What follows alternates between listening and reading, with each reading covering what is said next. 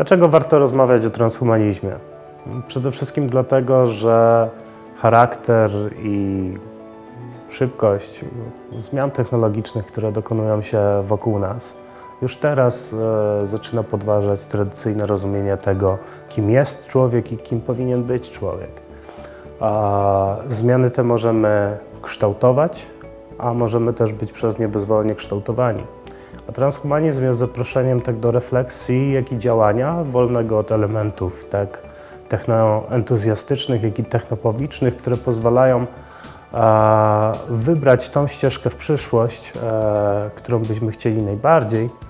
No i odrzucenie zaproszenia do takiej e, świadomej refleksji jest nie tylko nieodpowiedzialnym zachowaniem wobec e, przyszłych siebie i przyszłych pokoleń, ale jest także odmową udziału dla samego siebie w wielkiej intelektualnej przygodzie, na którą jako e, Towarzystwo Transhumanistyczne serdecznie zapraszamy.